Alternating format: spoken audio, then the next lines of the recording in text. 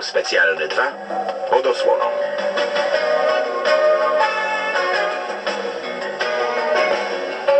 W pozostałych rolach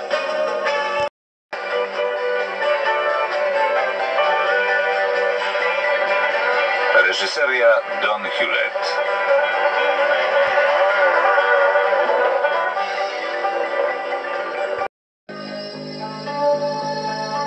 Dolph Lundgren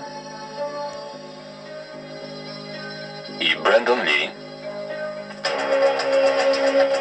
w filmie Ostry poker w Małym Tokio.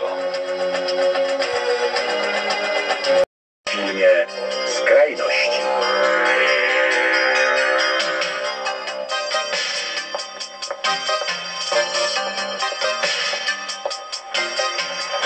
Dobranoc, Jim.